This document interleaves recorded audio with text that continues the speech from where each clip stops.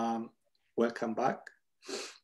Uh, it's a great pleasure for me to introduce our first speaker, Professor Raffaele Ferrari from the Earth Atmospheric and Planetary Sciences Department at MIT. EAPS is um, one of our participating departments. Very happy to have EAPS and mathematics from the uh, School of Science as one of the departments who participate in the CSE PhD program. And Professor Ferrari is one of the people who work on computation uh, in EAPS. So uh, Professor Ferrari is the Cecil and Ida Green Professor of Oceanography, and is also director of the program in Atmospheres, Oceans, and Climate. And he's a physical oceanographer with interest in, in the connection between the, the ocean and the and climate. And he has been leading this um, uh, multi-institute effort to produce high fidelity uh, uh, climate models that which involves Caltech, MIT, uh, JPL, and NPS. So um, today he's going to tell us about his efforts to improve the physics of climate uh, ocean models. Please, Raffaele. Great. Thank you very much for having me. And yes, this what I want to talk to you about a bit is how we can improve the physics of climate models with an emphasis on the ocean uh, I will try to articulate why I think we need to do that. And this is part, as uh, uh, Nicolas said, of a multi-institutional effort of creating a new generation climate model. And I explain why I think we need to do that. Um, in particular, I'm going to work, talk about the work we are doing at MIT. So this new climate models involves the component in the atmosphere and the ocean and land. And in particular at MIT, we are working the ocean component. That's why that emphasis. There are a lot of people involved uh, in the project at MIT. In particular, there are three faculty that are in CSE, Alan Edelman, myself, and John Marshall. So I think it's quite appropriate to talk within this context, and I hope that a number of students might get interested in this kind of challenges. Oops. So maybe the first slide is easy to introduce. Why do we even care about uh, writing climate models? And uh, this picture is from the 2014 uh, Intergovernmental Panel on Climate Change report. And it shows just the temperature increase over the last century for the whole world. And you see that the world has gotten warmer by about one degree on average. That warming is not constant. It tends to be stronger at high latitudes than over land and over oceans, so there are patterns. We have strong reasons to believe that this warming is associated with anthropogenic emission of greenhouse gases, what we'd like to know is moving forward in the future, how much warming are we committing to and how is it related quantitatively to anthropogenic emissions? And for that, we need to use science and in particular uh, numerical models because the dynamics of the system complex enough that we cannot just solve it with pencil and paper. And uh, why do I think there is work to be done? Because we do have models, but I would contend that models we have today are probably not up to the task of answering the questions that we have about how to mitigate and adapt to this change. In particular, here I'm showing at what carbon dioxide concentrations in the atmosphere we expect or climate models predict that we will have a temperature increase of two degrees C compared to pre-industrial values. I choose two degrees C because that's the value that has been uh, agreed on in the 2016 Paris Agreement as a threshold that we should try not to exceed. It's not important whether that number is particularly relevant, it's arbitrary. But here what I want to show you is that if I take 29 of these IPCC, as it is called, the Intergovernmental Panel on Climate Change models used in this panel, and I show at what carbon dioxide concentration they predict that we would cross these two degree threshold. Well, some models predict that that will happen at around 600 parts per million concentration in CO2 in the atmosphere called ppm, so 600 ppm. Other models predict that we cross that threshold already at something like 400 ppm and pretty much all values in between. For reference, we are already at 415 ppm today. So there is clearly a large range of values that are predicted, and that has serious consequences how we should respond to these changes. because if I try to convert this carbon concentration in years, meaning when do we expect to cross that threshold in time, if we make an assumption of uh, a world that doesn't change its behaviors in terms of anthropogenic emission carbon dioxide, well, for the models on the right-hand side of this panel, we would exceed the concentration at which we have a two degree warming already in 20 years from now. But for the models on the left-hand side here, we would exceed it in 40 years from now. That's a full generation difference. Clearly, the mitigation and adaptation policy we would have to use in one case are very different if it's 20 year timescale versus a 40 year timescale. So these models are not at the point where, or they all agree in a sense, if we look at that picture, that the world is getting warmer moving into the future as long as we continue emitting greenhouse gases, but at what rate is something we don't know accurately enough to make a lot of policy decisions that would need to be made. Just to show that this uncertainty really stems for difficulties in reproducing the present state of the system, not just the future. Uh, now I'm showing in the upper panel here is a difference between the sea surface temperature and time to put the notion emphasis because of what I've been going, be, going to be talking about and what we are doing at MIT. Uh, if I look at the difference between uh, the mean state of uh, these 29 climate models that you've seen before versus uh, observational sea surface temperature from satellite data. What you tend to see that there is a lot of regions we read there. That's regions where the models predict a warmer temperature, sea surface temperature than it is observing climate. And you see these differences are pretty large. You're talking about two degrees differences in most of the southern hemisphere. This is what is called the Southern Ocean, south of the continents around Antarctica. There are some regions in eastern boundary currents, and there are also some regions where instead we underpredict uh, or we predict temperature which are too cold in present day. Another way to look at the same uh, picture is instead looking as a function of time. So this is for the last century, essentially for the last century and moving to the next century. And we are seeing the temperature now averaging only over the southern hemisphere, predicted by, again, a number of these uh, uh, models. And you see all these models predict that at some point the temperature will increase as anthropogenic carbon emission keep going up. But you see that there are also very large differences in mean temperature that these models predict. This is averaging between 50 and 60 degrees south. So in banded, it's down here. So there are clearly differences across models, and these differences have nothing to do with our uncertainty about how human might change their behavior moving to the future, because all these models are forced in the same way. It's just different somehow in uh, the physics included in these models. So why is it that models that are supposedly trying to solve the same equations are producing different results? Well, it comes to a simple problem. We do know to a large extent the equations that uh, dictate the dynamics and thermodynamics of the ocean and the atmosphere and land, some better than others. But in particular in the ocean, we know the dynamics and thermodynamics pretty well. The problem is that we cannot solve the equations uh, on the scale of motion that we observe in the ocean in the atmosphere. We know that motions happen from planetary scale of thousand kilometers down to 100 kilometers, down to 10 kilometers, one kilometer to 100 meters. There are puff of airs on centimeters and millimeters.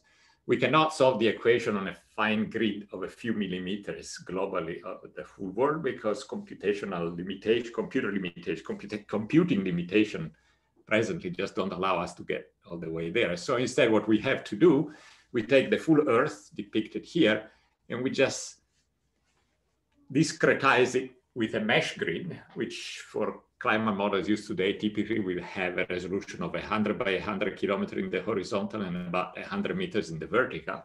And then we solve the equation on these blocks. So we're not really solving the full dynamics. There is a lot of physics that essentially falls through the cracks of this model. You can think that at this resolution, the whole of Massachusetts would be represented with uh, three grid points. Uh, there are definitely clouds on scale smaller than that. You can imagine that if you're talking about land, there is the heterogeneity in vegetation on scale smaller than that. The same is true in the ocean. Here I'm showing a picture from a very high resolution numerical models of the ocean that we can run for a much, for a very short time scale, not for climate studies.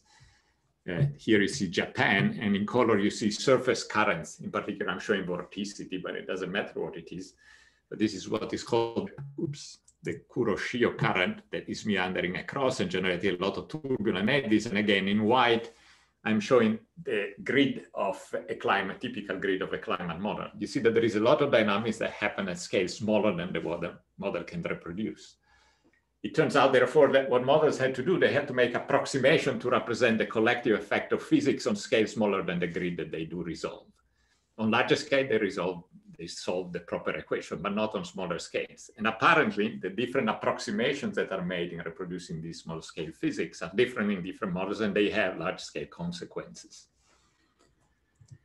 So one answer to the problem could be to say, well, uh, maybe all we have to do is just to wait for computing power to uh, increase, and eventually the problem will be solved.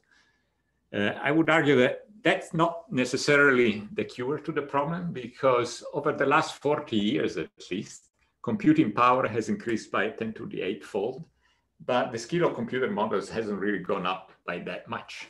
A lot of the biases you've seen in uh, this, for the figure on uh, crossing thresholds of two degrees C have been with us for a long time, at least for probably the last 40 years. Uh, in particular, I think because we have put most, more effort in making our models more comprehensive, including more and more components like land, like biogeochemistry, chemistry, the atmosphere, all important aspects, but without going back and reducing uh, the deficiency in the representation of the subgrid scale physics, as we call it, that the models do not resolve. So what I think is that we are now in a position where we can actually make progress on this uh, challenge because of three advances that have happened over the last, over the recent past. One is that computational power has become, has increased, but in particular through the development of new architectures like GPUs. Computer models for the moment are not able, or climate models, sorry, are not written in a way that can take advantage of this new architecture. So we can definitely increase computing power. The second thing is that by using high resolution simulation that resolve locally small scale physics, plus the increased availability of Earth observations that are becoming more and more comprehensive.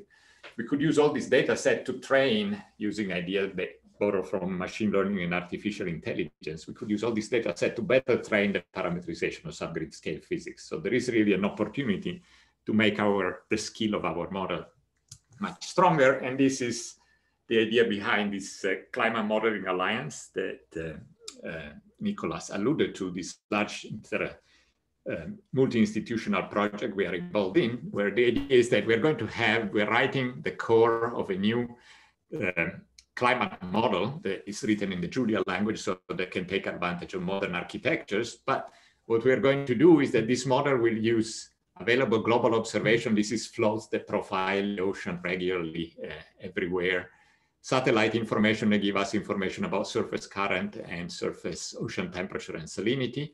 Then we are also going to use a lot of high resolution simulation embedded in this model spun up automatically.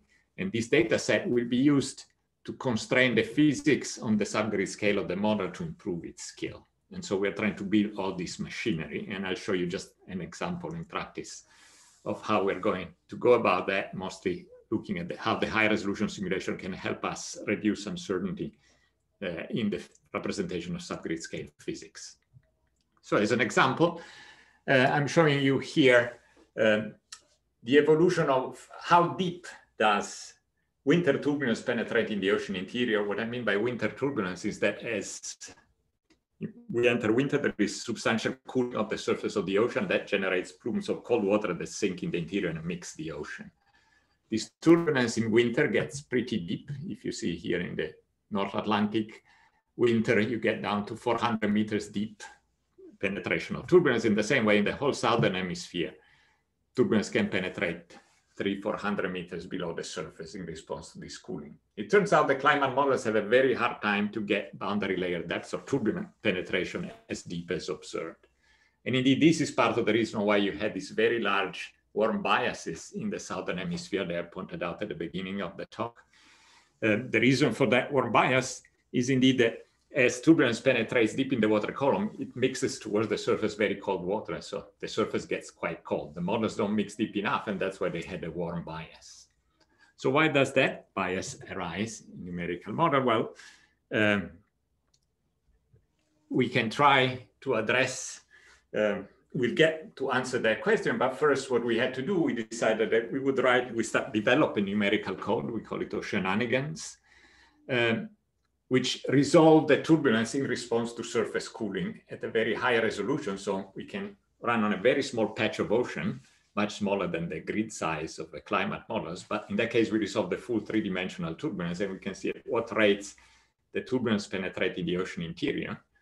And we can use that as our validation. What does the real turbulence in the ocean should look like? And this is a simulation that we're doing. So here we're looking at the ocean. We are inside the ocean looking towards the surface. As the surface is being cooled, you see these plumes of cold water sinking into the interior and creating this turbulent and mixing. So we developed this code. You can run very fast on GPU. So we can run a lot of this simulation very quickly and we can mm. run them in different configurations. So now here I'm showing the result of the previous simulation, but now I'm showing the full three-dimensional solution at some time. The color is temperature. This is our 3D box. It's just by 100 by 100 meters, so it's a very small box. And you see that it's pretty uniformly blue at the top. That's because there was convection here, cooling from the surface that create mixing. The temperature is pretty uniform. The turbulence is mixing and keeping that temperature colder and colder, but uniform. Uh, down to uh, depth here is around 30 meters or so. Below that, instead, the temperature starts decreasing very rapidly with depth. That's because the ocean interior is typically strongly stratified, as we say, meaning that the temperature is increasing with depth. It would increase linearly all the way to the surface, except that when you generate turbulence, you start eroding that stratification. Indeed, on the right, I'm showing a zonal average picture of what you see on the left. So now I'm just showing the temperature as a function of depth, only average in the picture on the right. And you see that the temperature is nearly uniform in the upper 30 meters, and then it starts increasing with depth. Clearly, in, in climate models cannot resolve all this three-dimensional turbulence, so we want to find a way to predict directly what is the evolution of this vertical profile, because this will be just one grid point in your model in the horizontal, and we just want to see how the turbulence penetrates in the vertical.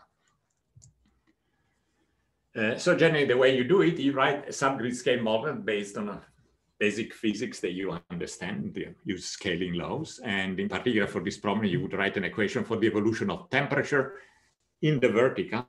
I said, this is just, more, we call it the column model. It's just one grid point in your climate models. And the parameterization will depend on a vertical divergence EDC or some flux of temperature and this is your parameterization of subgrid model, if you want to call it. This flux will depend on temperature, only on the vertical dimension, on the surface heat flux, how strongly you cool, and on a number of non-dimensional parameters. And in particular, for the models I showed the people in the audience that might know what I'm talking about, we are going to use what is called the KPP subgrid scale model. It's a very typical model used in most climate, in most climate models. Um, uh, on the ocean side to represent the evolution of turbulence. And so what I'm going to show down here now in blue, I see the result of the LES simulation. So I take the zonal average. I'm going to show you how it evolves in time. And the green dots are the results of the prediction from the climate models. The blue line is a zonal average that resolve the full three-dimensional turbulence, while instead the green dots just solve a one-dimensional equation for a certain set of these non-dimensional parameters. If I let it go in time, you see it doesn't do a terrible job, except that the base, the boundary layer starts evolving a bit differently. It goes a bit deeper or faster uh, than the green dots, uh, meaning the parameterization. And there is an accumulation or error over time in this simulation. Indeed, this bias is already of order of 10 meters after eight days, and you can expect if you go for a full season, Uh, the biases of the difference it can be hundreds of meters. So that shows, first of all, these parameterization are not terrible. Clearly, that's why they're using climate models, but they're also not perfect. So what could you do to improve on this parameterization now that you believe that you have a simulation, the three-dimensional simulation that represents the physics, and we can show that by comparing two observations where we have them. Well, one approach that we've taken is indeed you could use Bayesian approaches to optimize what is the value of this non-dimensional parameter that you should be using in your parameterization, right? So in particular, these are two of the parameters that enter in this parameterization, one that sets the strength or the magnitude of the turbulence. And the second parameter really uh, represent how deep the turbulence penetrates. And I can do just here we're using a Markov chain Monte Carlo simulation. This was the initial value, the parameter are typically used in the climate models. And we do an exploration of parameter space until we find what is the optimal value that gives us the best match or the best reproduces given this model for these parameters, the best reproduces the evolution of the temperature profile over time. Uh, it's a probabilistic approach. So indeed we get the whole PDF so Nick Trefethen would be happy that now the talk following his is actually using some probability, so we cover all bases for all interests. But now we have supposedly a better model. I can run the simulation. Now the blue dots are this optimized version of the same model as before, and now this does much better than the previous model. You can say, okay, so now I improved the model. I have a better constrained parameter uh, subgrid scale model, so I'm fine. But it turns out that the story is not that simple because here I'm showing you, now I can repeat the same exercise, but not just for one simulation, the one I've shown you before, but now for a whole set of different simulation. Here in particular, we change the stratification, how fast the temperature will changing below the surface of the ocean. So we run a whole bunch of different simulation now with this fast code, uh, Oceananigans, we can run a whole suite of them very quickly. And then we can repeat the optimization for every case. And this is in particular one of these parameter values, and we show which controls the depth to which turbulence penetrates. And we show that you have to use different values of this parameter for every simulation if you want to get a good match. That tells you, if you want to call it that you were overfitting in doing this exercise, or more fundamentally, that there is some flaw in this parameterization because this parameter C was supposed to be a universal parameter, but it doesn't really fit or you can, there is no single parameter that gives you a good prediction for the penetration of convection everywhere in the ocean. And that explains why oceanographers have struggled with this uh, subgrid scale model because no matter what they did, they could tune the parameters to work well in mid latitudes, but then at high latitudes, like in the Southern Ocean, they didn't work as well. Some work that has been happening to move beyond this status of affair that now really relies a bit more on machine learning was that then what we can do, we can essentially use a simple model that is our first guess. We have models that do have some skill in giving us more or less the shape of the profile, but then we can use some neural network to learn the part of the dynamics that the model wasn't able to reproduce. So we try to use both the information we already have this prior, and then we add a correction that should allow us to now have a model that works in very different configuration. And this is what I show you here now. This is the work done by a CSE student, actually, Ali uh, Ramadan. And now you see the evolution of uh, the LES solution for two different setups. And in blue, you can hardly tell the difference. There is the solution uh, with the neural network, so machine learning trained. Now, this parameterization works across different states. So now you can fix that bias and have a parameterization work in different configuration, not just uh, for example, in mid-latitude, but it can work also in a Southern Ocean-like state. And I'm coming to the end of my time. Uh, so what I'm trying to explain here is that I think that we have this idea of developing a new climate model using Julia as our language because it allows us to have uh, to take advantage of uh, modern computer architectures and have code that is easier to use. And then we want to focus our efforts in improving the representation of subgrid scale physics that might seem obvious, but that's not where the community has gone by far and large. And the reason why we can do it is that we can generate high resolution simulation and use uh, many high resolution simulation within a grid point of the large scale climate model that we can run for a short period of time, but just to reproduce the physics that the model should be capturing. And then use machine learning approaches to train the parameterization. And then we also use global observation to do that. Not only that should help us get better representation of the subgrid scale physics, but something I didn't really talk about is that in this exercise, we can also estimate the uncertainty associated with our subgrid scale model. So how accurate they are, what is the error associated? No subgrids model will ever be perfect because it's not an analytical solution of the equations. But once we know the uncertainty of this parameterization, we can also estimate and propagate the uncertainty in our climate projection. So we know what is the error bar in the projection we've done, something that nowadays we can't do uh, with climate models because we don't know how much uncertainty there is with these subgrid scale models. Now I think I'm running late, but um, just to point it out, of course, the final goal would be not just to have a model that has um, more predictive skill, but once we have that system, since we can automatically span high resolution simulation everywhere we want on the globe, we can use that same approach to make forecasts locally and regionally to help adaptation and uh, mitigation policies. And I'd be remiss if I didn't point out who has done most of this work. This is a number of uh, students, uh, postdocs and researchers at MIT, but I would like to, hi, oops, can you still see this? Highlight a few names. Adeline Hillier and Uliana Peterberg are two Europe students that are working with us. Ali Ramadan is the CSE student that has worked on this parameterization and two researchers, Andres Souza and Gregory Wagner, has done a lot of the work. And I'm just leaving some of uh, uh, the publication we've done for people who might be interested in the work. And I should acknowledge support from Schmidt Futures, Paul Allen Foundation, the NSF, and the Audi Environmental Foundation. Thank you. Thank you very much for a very nice talk. Um, do we have time for a couple of questions, quick questions? Any questions, quick ones?